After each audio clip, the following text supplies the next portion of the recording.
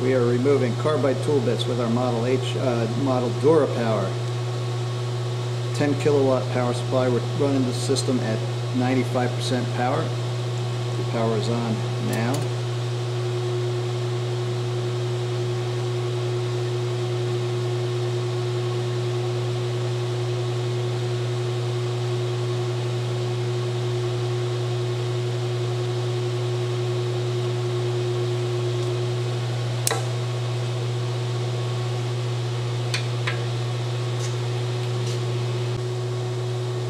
Will be test number two.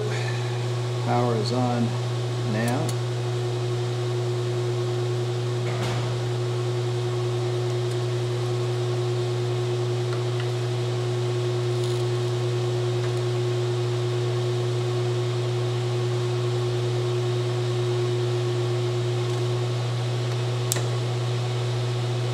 And that will conclude our test.